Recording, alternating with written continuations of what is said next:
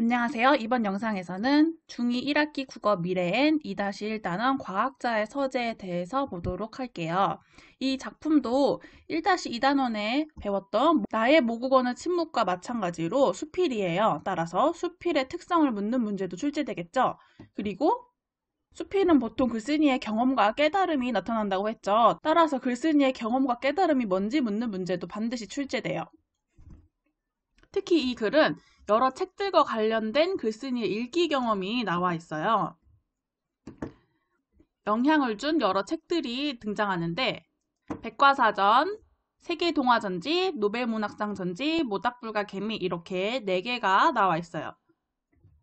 각각의 책들이 지닌 특징과 각각의 책들이 글쓴이의 삶에 미친 영향이 무엇인지를 반드시 정리해야 돼요. 기출문제를 보면은 22번과 29번이 그런 문제 유형이죠. 선지에 글쓴이는 백과사전을 읽음으로써 지식과 정보를 얻고 정신세계가 넓어졌다 이런 식으로 뒤섞어서 출제가 될 거예요. 그래서 헷갈릴 거예요. 따라서 반드시 정리를 제대로 해야 됩니다. 지식과 정보를 얻게 해주고 정신세계가 넓어진 건 노백문학상 전집에 해당하는 거죠.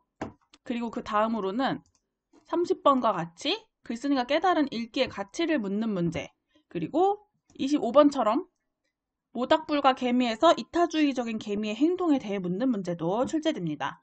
그러면 표를 통해서 간단하게 정리해 보도록 할게요.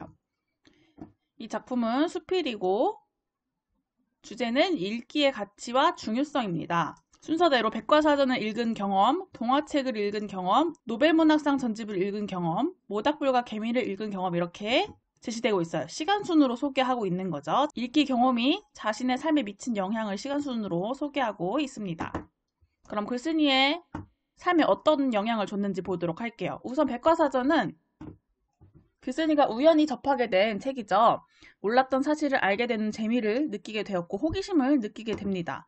그 다음에 세계 동화 전집 세계 여러 나라의 동화가 실려 있어 다양한 문화를 접하게 돼요.